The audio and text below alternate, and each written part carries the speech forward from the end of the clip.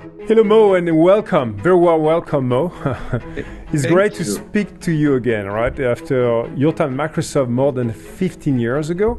Um, and in full disclosure to our listeners, you know, the reason why we reconnect again today, and actually, really after a couple of months ago again, is because of um, actually my daughter. My daughter, Aurora, uh, 2 years back, uh, attended one of your conferences.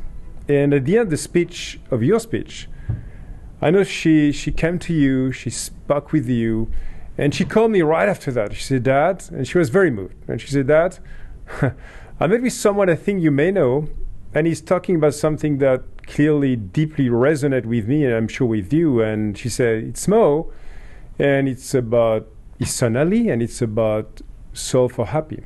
And of mm-hmm. course, I read your book, Mo, and I got to learn a lot about um, clearly your own path to uh, happiness. And uh, it's a pleasure for me, really, to have you on this uh, podcast. And, and, and, and ask you uh, clearly a few questions about uh, that path and your own search for, for happiness. You know, clearly, I mean, happiness uh, seems simple, but it's very hard. And I, I, I try myself to read a lot of books to, to get more intelligence on happiness and positivity overall. And there's a book from uh, this psychologist, Frederica, uh, Barbara, sorry, Fredrickson. She's a PhD. She's been writing a few books. Maybe you've, you, you've read some of them, uh, uh, Mo. And and basically, in a way, she avoids the term uh, happy because she thinks overused and, bec- and because, you know, it, she thinks that basically happiness is more the outcome of many positive moments. So let me ask you the first question, which is what is your own definition of happiness?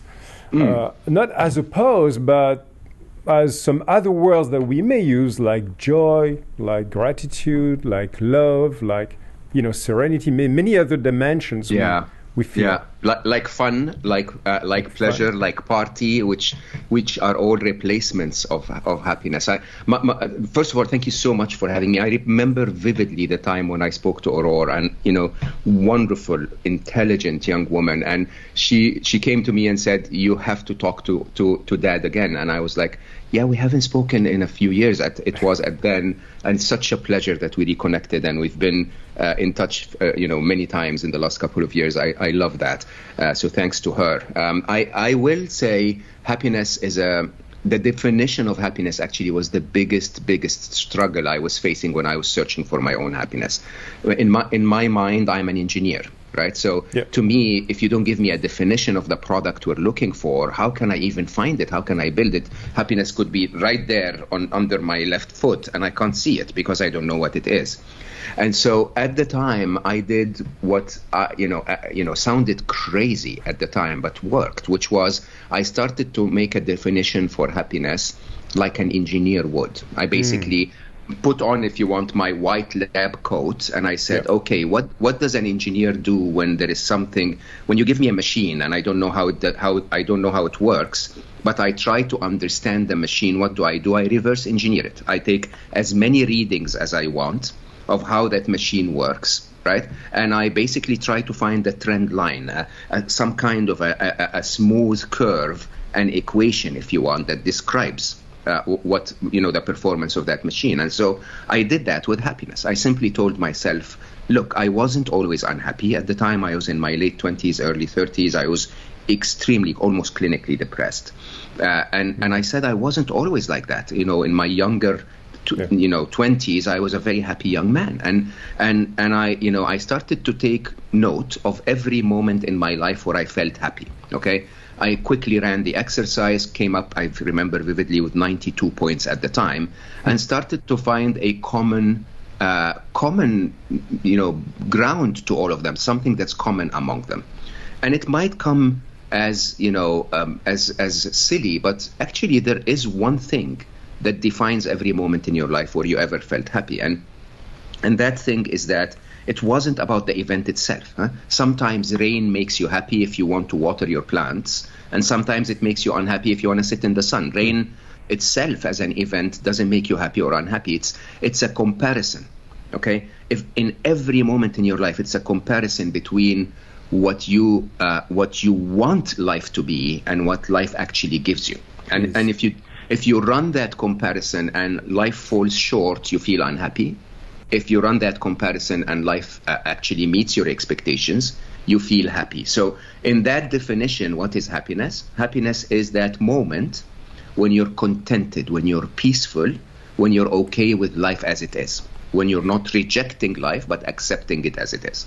But so, what, is really hard? I find myself more. Anyway, uh, I find it hard both as a person, right, as a dad, as a, uh, but also as well as a leader, as a manager, right? Of course. Is Mhm. is the way I manage my own expectations, because in many ways, expectation setting is a big deal for yourself and for every other person. We'll talk Oh, later yeah. about uh, management, but just how do you think about that expectations management? So, so, so it's interesting because we're we're very complex beings. Huh? We have multiple targets in life. One of them is to be successful, is to persevere, is to find our purpose, is to make a difference to life, right? And you can't do that unless you ba- set big, big expectations, right? You set big goals, big targets. Huh? Without those, you're not gonna stretch yourself to the best that you can be. But also, we're human. We we want to be happy. We want to be contented. We want to be loved. We want to be loving. We wanna we wanna have all of those experiences, which, in all honesty, contradict the first target, Yeah. right? And and and so. I came to a very simple differentiation that made it super clear for me.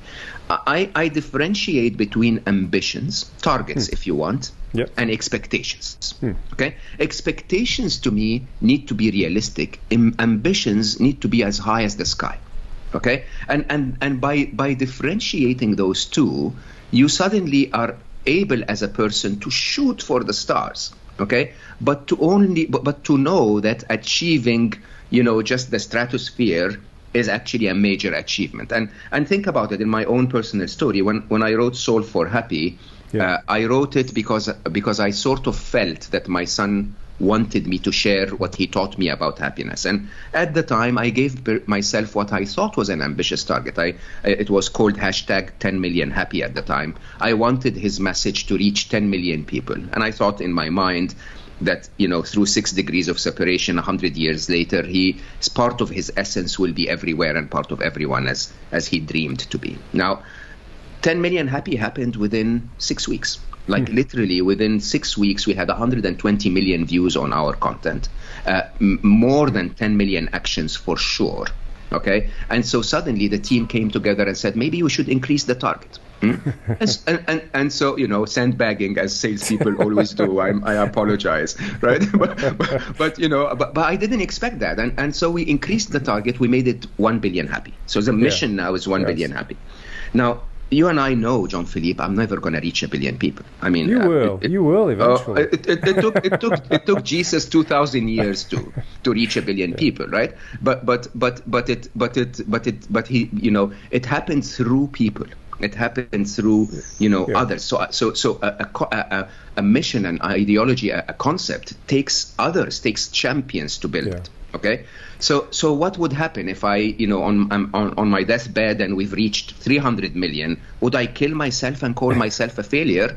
No, the ambition is wonderful. The ambition is a billion happy, right? But the expectation is I'm going to do the absolute best I can for our listeners today to be happy, and that's as far as I can, as my my reach can, you know, my my impact can reach. And and if I meet that expectation, I'm very very happy but I continue to shoot for the ambition so that I can make a difference. No, I, I love it. Uh, I love the fact you talk about kind of our, our own North Star. Each one of us should have a North Star, that big, bold ambition.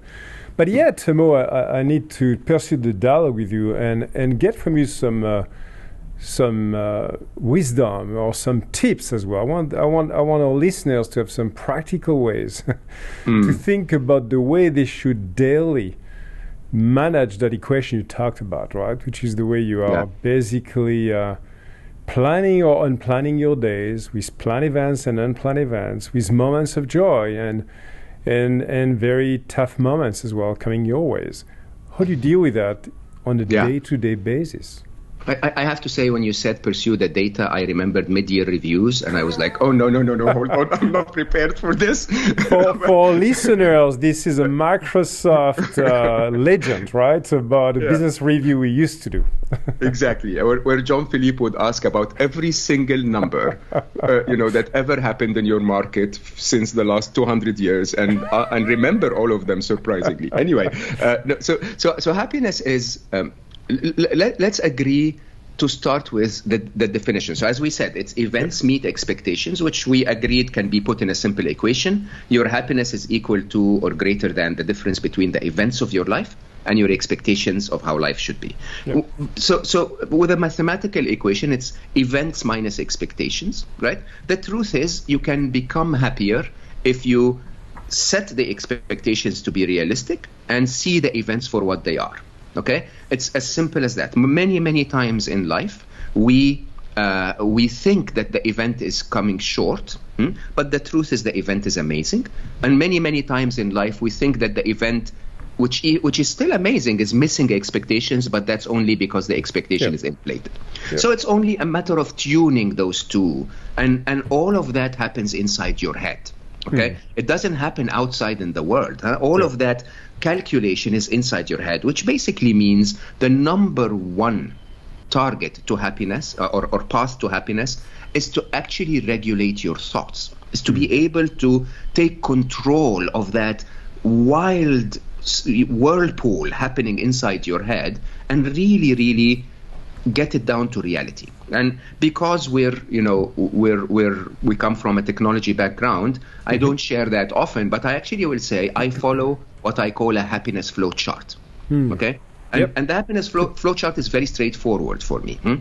You, you feel an emotion, you feel a negative emotion, okay? Uh, number one task you have to do is to acknowledge the emotion. As a matter of fact, you need to embrace the emotion. You need to say, oh my god i'm angry oh that, where did that come from right yeah. most of us have been trained in the modern world to hide those emotions to suppress them to even tell ourselves that they don't exist because we don't want to show them to the rest of the world what is the best way by the way to acknowledge uh, to, to realize the truth, Jean-Philippe, we every human being, including yeah. you, who who sometimes was a tough leader for us. Okay, uh, we, we, you know anyone knows that you're human. You love your children. You want to do the right thing by the company. Everyone has those emotions. It's it's just, it's just that the modern world told us no they're not supposed to show. And so we thought that hmm. they don't exist. But they're the only moments in life we feel alive by the way. Imagine waking up one morning and all you have is thoughts. No no feelings no sensations no emotions. You'll, you'll not feel alive. You'll not feel human. No. now the, the beauty of it is every emotion is true. By the way, people forget that. Huh? If you feel angry, hmm? yes, you may not have a reason to be angry. Maybe you're exaggerating. Maybe you didn't see the event correctly. But if you feel angry, it's true. You feel angry. It's the truth. Okay, you you shouldn't hide that. And and what I do is I say by embracing the emotion. Yeah. Okay, that's the first moment I can actually do something about it. Hmm? Uh, you know, un- unless I embrace it, it will linger and eat me up from inside. Hmm? And and and it's not a wise thing to do. Like business leaders, hmm? yeah. what what did we do when the market changed? Hmm? We looked at it and said, "Man, that's going to be tough." You know, it's annoying after all of the work we've done with that CEO that the CEO changed or whatever. Hmm? But but all business, all successful business leaders said, two minutes later, "Okay, so what are we going to do now?" Right? Which truly is the rest of the flow chart. Acknowledge your emotion, and, and then and then and then there are three questions that will always get you back to happiness. Question number one is, is it true?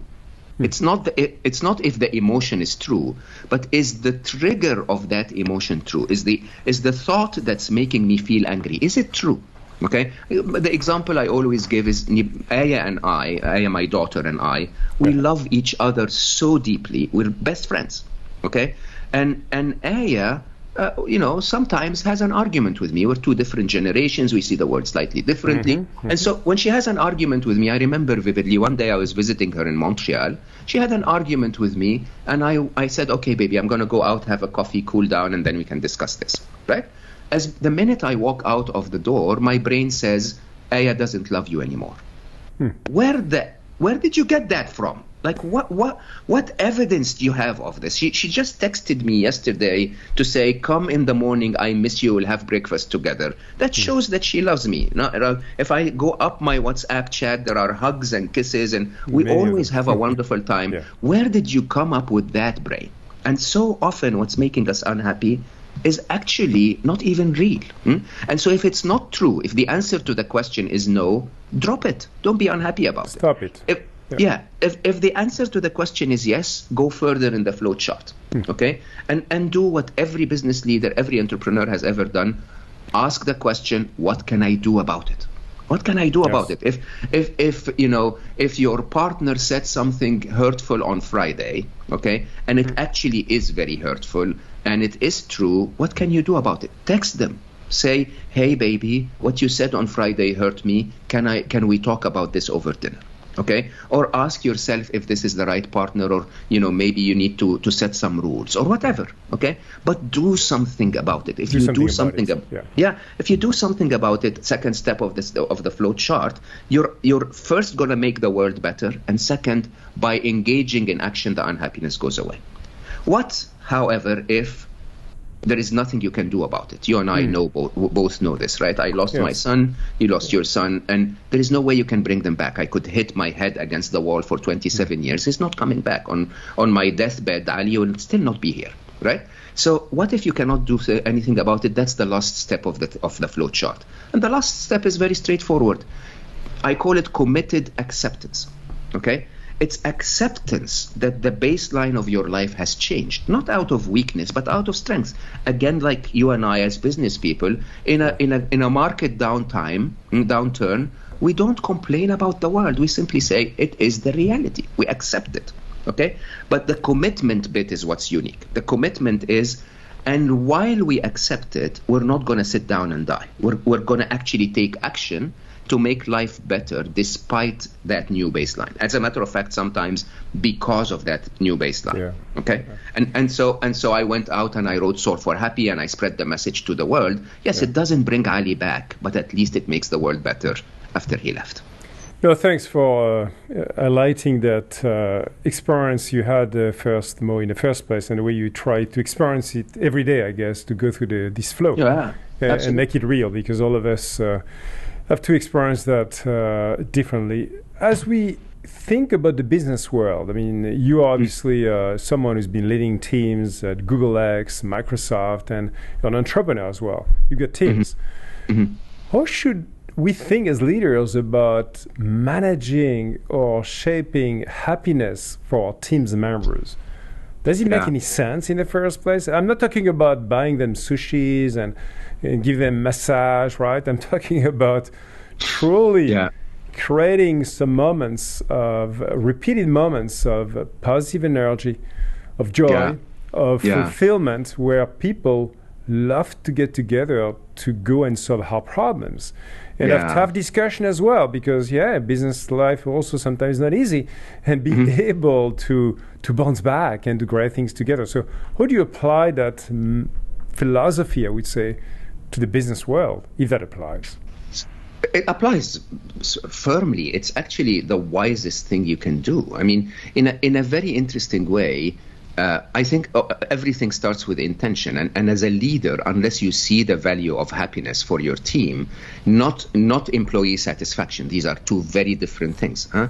Happiness is that as we defined it, is that the team is okay with life as it is. That the team could be working nine hours a day, yeah. but they're you know, or, or twelve hour days, and uh, you know, sometimes during the uh, the yeah. high season or you know a customer deal or whatever. But they're happy about it. They're content that this is the right thing to do. They feel positive. They feel motivated to do it. And when you really think about it, Jean-Philippe, it's yeah. not because the leader is a nice person it's the wisest business decision ever. Why? Because happy people are more engaged. They're nicer to their clients, so their clients love them. They share more with them. They meet them more often. They allow them to come for meetings. They're nicer with their colleagues, so their colleagues help them out, and there is no friction in the office. There is no wasted time on uh, on conflict. You know, they're they're they're just uh, um, uh, uh you know they, they have less absent. Uh, you know, they're less absent on on sick leave. They don't yeah. cost the company in terms of uh, of you know mental health costs and so on.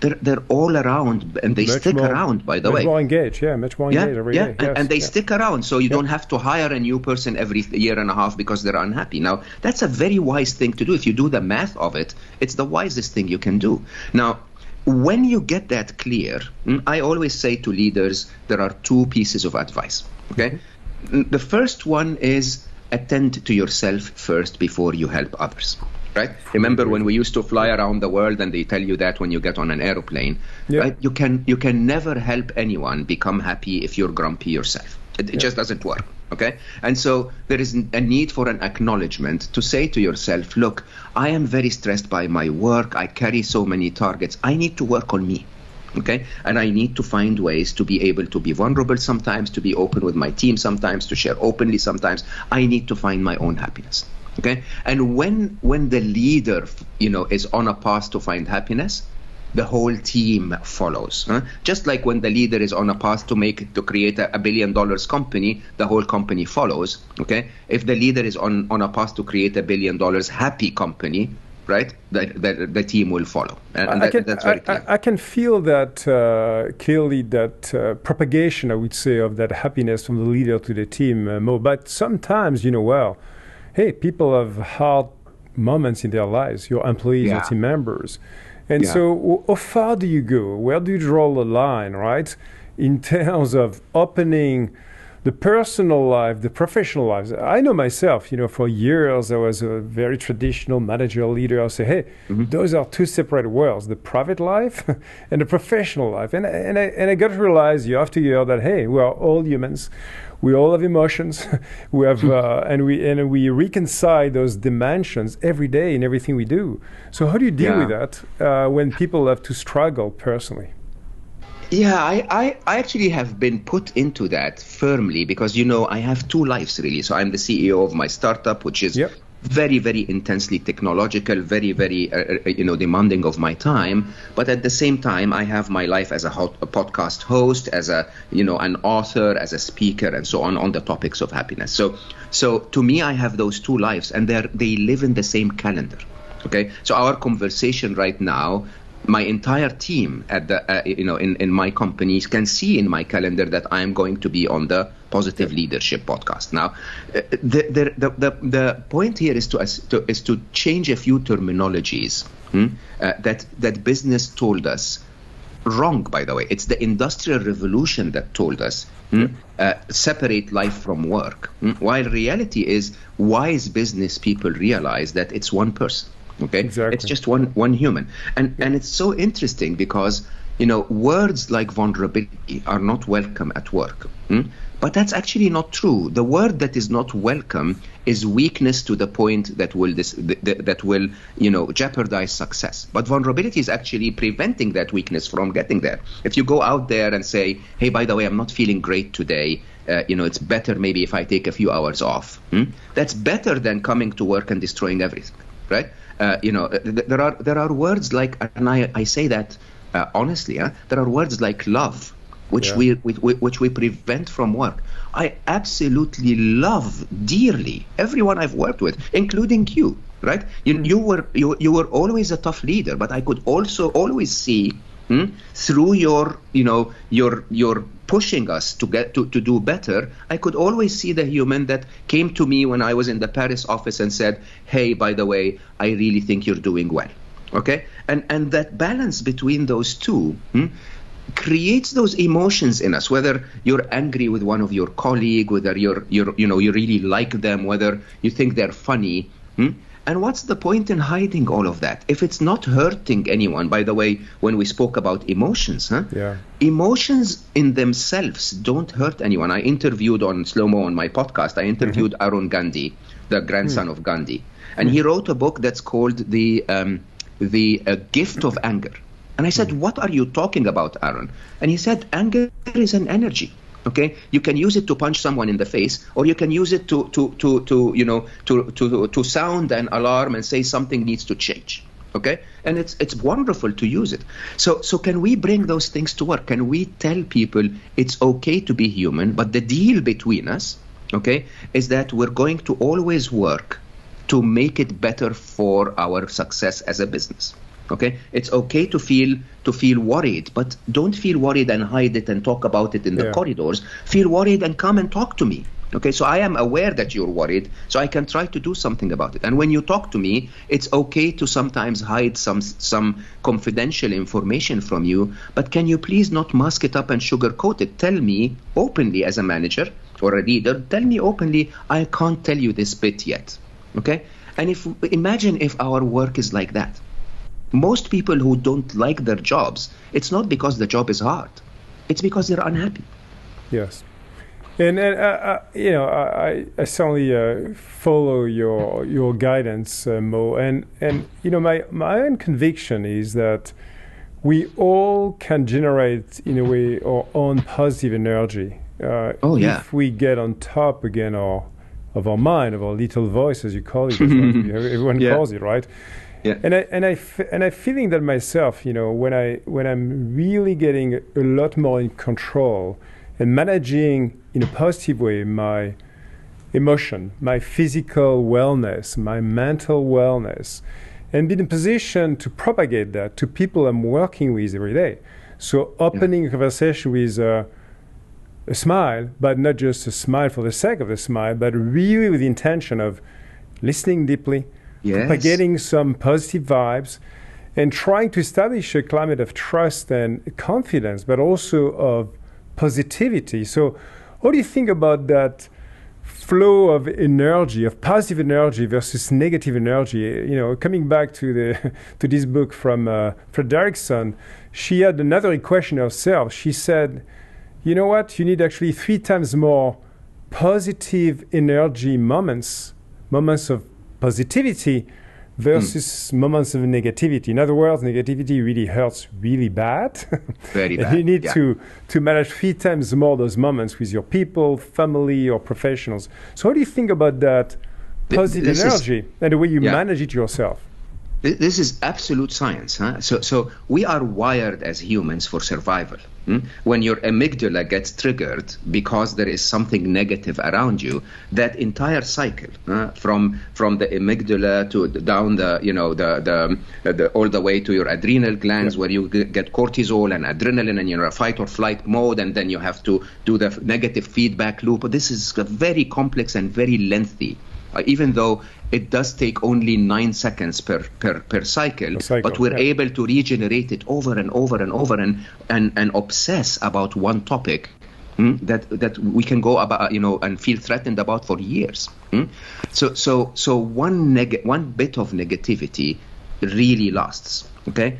But I also think that there are certain positive emotions mm, that are much more uh, wholesome, let's say, than others, right? So, so laughter, love, trust, mm, those moments where you connect deeply to a human, I, I, you know, and and believe it or not, believe it or not, it's you know there are different types of leaders out there, but I spent most of my senior years as a leader in Google X mm, with no job, no job other than connecting deeply to my team.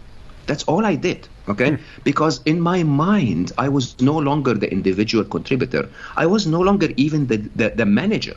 Okay, I was finally the leader. As a, as the leader, you don't even have to manage the spreadsheet yourself or manage the forecast yourself.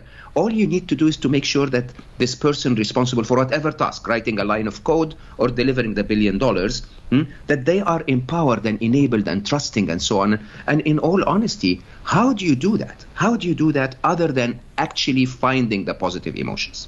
Okay, and I will tell you a story, and, and I will omit the you know omit the name because hmm. it's it's it, you know it's not right to say the name. But I had a country manager in my early years at Google. In my first seven years, hmm. I opened half of Google's offices worldwide, so I was expanding across emerging markets.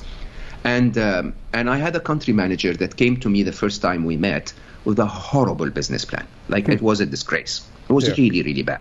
Okay, and, and and and I love people, but it was so bad that around 20 minutes into the conversation, I said, "Would you please go back and rework on this because it's really really off target." Okay, Uh, not in a not not in a horrible way, but Sure. you know in a kind way. Hmm? Uh, and then he came back around uh, six weeks later. And in my mind, I was like, this is going to be horrible. It's going to be ugly. It's going to be a waste of one hour of my time. And eventually, I think uh, I'm just going to be upset again. Yeah. And and so I walked in with the with the exact wrong emotion and exact wrong energy, if you want. Hmm? Five minutes into the meeting, and you know, if anyone ever speaks to him, you they will he will remember that. Five minutes into the meeting, I said, "Can I please excuse be excused for five minutes? I need to do something." Okay. Because I actually recognized that he was talking a lot of sense and I was very negative. Okay. And I walked outside and I told myself, look, he's a wonderful human being. He's trying to do the absolute best that he can. And unless you stop judging before you see the data, okay, you're doing him and yourself a disfavor. Okay. And I just calmed down, thought positively about wonderful things, Yeah. and walked back into the meeting. Best business plan I have ever been presented Ever done. right? Ever, okay? Oh, and I will tell you, yeah. and, and he he he became massively successful in the company, by the way, and it, it's amazing when you really, as a leader, tell yourself, hold on, he's a wonderful person trying the absolute best that he can. Hmm? And by the way, if what if, if the best that he can is not good enough, that's because of a match to the job. Find him another job, and Absolutely. anyone that's trying to do the best that he can will do amazing. No, that's that's a that's a great example, uh, Mo. Uh, and I would say uh, myself a number of such experiences and and working really on my not just on my mind, on my words, right? Your thoughts to your Yeah. words to Yeah. make sure I was speaking the right words to give the right nudge, motivation, excitement to the person in front of me. In some case, when you know discussion was not that easy, actually. Yeah. and find ways to bounce back and get the energy back to the person so that the person could be confident and product proud actually of coming back to me Absolutely. with some wonderful work a few weeks, months, or even a year after. And I've seen a few of those amazing, I would say, turnaround situations where people, because of the deep confidence you've been, you know, projecting to themselves, made a huge yeah. difference. They, they, they need to feel that you're not against them, that you're for them and for the company at the same time. Okay, and and it's it's a simple ending equation. You're, you're simply telling them, look, we all both agree the company needs to succeed, and I want you to succeed. So how can we make that happen? How can we make both happen? And once that trust is established, we're in a very good place. It's not a tough conversation. No, it's not. So, so Mo, no, I, li- I like to uh, to kind of connect the dots because I'm I'm a, I'm a strong believer, and I think you are as well of uh, having and trying to have a positive impact uh, on the world. I mean, Yeah. whether it is a billion people for you, which is mind blowing, or no, I mean. Or for me, just a few hundreds of thousands of, uh, of social entrepreneurs with the Live for Good Foundation. You've got your own uh, 1 billion happy movement. I I do believe that actually being able uh, to uh, project that North Star with others and really uh, have this uh, purpose mindset where Yeah. you basically, you know, uh, basically really um, define some of those bold ambition, as you said, and Yeah. find every day the opportunities to get there step by step, even if you never get to the billion, as you said, is so critical. So, how do you think about and where and how would you advise our listeners to shape their own kind of, uh, you know, one billions, whatever it means for Yeah. everyone, Yeah. every one Yeah. of you listening to us? What is your what is your one billion Mm.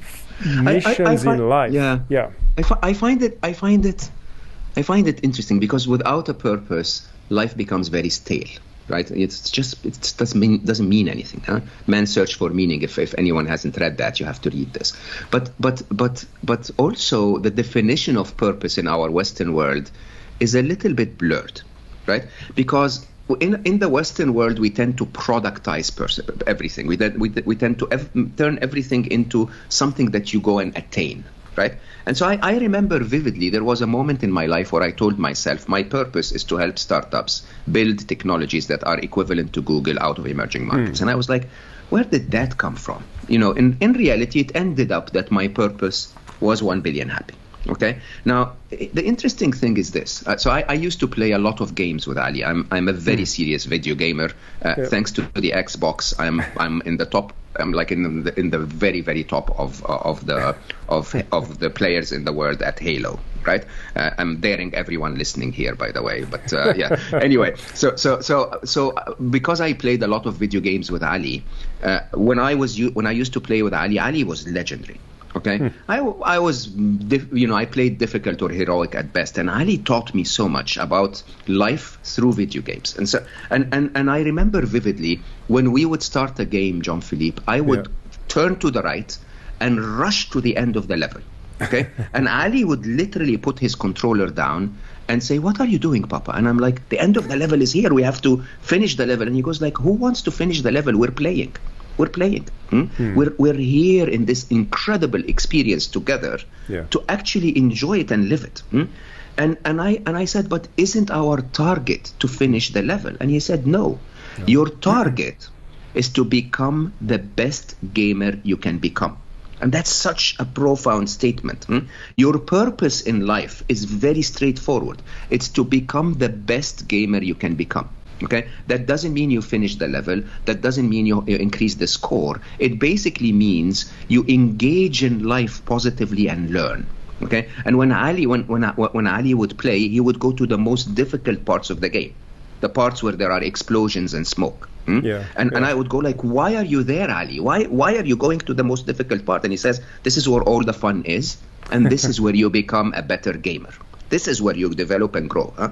Now, when you really think about this, think about my story, your story. Hmm? Mm-hmm. We we go through life engaging positively every day. Sometimes you get you know knocked out and you get up again, and other times you're making progress. But you're positively engaging, becoming the best player you can become every single day, every shot. Hmm? And eventually, your purpose finds you. Yeah. It's not the other way around. Okay. Yeah. If yeah. you're not qualified, if you're not qualified, you'd be doing your purpose a disfavor by setting it as a target. Okay. So so many people out there who want to be coaches. Okay. And they have coaching practices and they have clients, but they haven't achieved their own state of happiness yet. Okay. Yes, you're helping, but you're also unhelping. Hmm? And maybe you should spend more time f- developing your own self, developing, as I said, attend to yourself first before you help others. So when it comes to purpose, my only advice to people is don't judge it don't hmm. pre-pick it hmm? it's not a consumable product okay don't no. define it as a target because when you define it as a target i i'm gonna put a uh, you know um, uh, uh, um, um, give a give a, a, a computer to every uh, human on earth okay uh, which you know, lap, uh, remember laptop for every child. You know that initiative. Oh yes, right? I do. Yeah. I so do. so yeah, so yeah. what happens? What happens is when you when you have when you have that objective, you spend your entire life waiting for it to happen, dissatisfied, and then when it happens, you're so empty. It's like, okay, that's it. What do I do now? okay middle age crisis at its best yeah, yeah. and and and i think the answer is very straightforward the answer is engage every day do the best that you can every day and you will get many many purposes okay and major purposes showing up. When they show up, attend to them fully and be flexible. Continue to engage, and the purpose will change. Right? Uh, and that's the way to live a fulfilled life. I love it, uh, Mo. It's so uh, it's so true and uh, and so much uh, a day to day. I would say uh, again, uh, growth of yourself. I mean, I see I, yeah.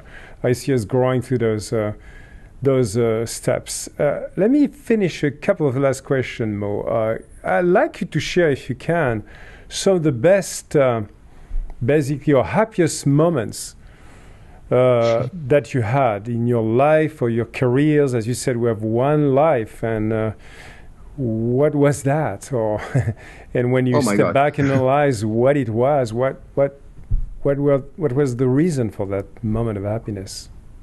I, I, I'm I'm constantly happy. I think it's a brain defect, but but if you if you if you want, I, I, actually no, it's not a brain defect. It's bra- it's brain training over many many many years. I should be very clear about that. But I, you know, and there are many moments that stand out. But I remember vividly. I think it was November 2018. I was on stage.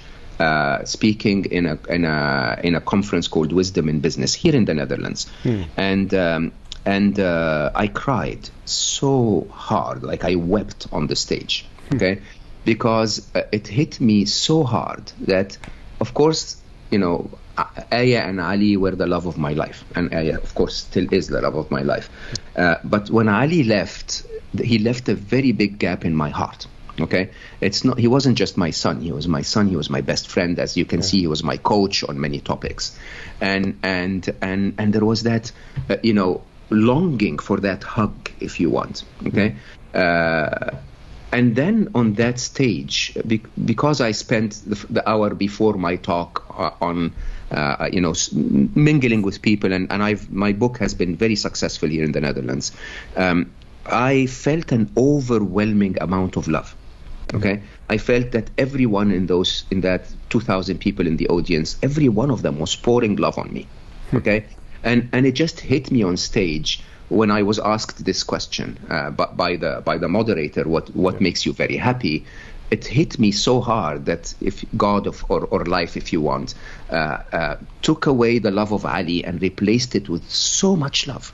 Okay, and so much love was not the result of me being a pop star or you know singing a, yes. an amazing number one hit.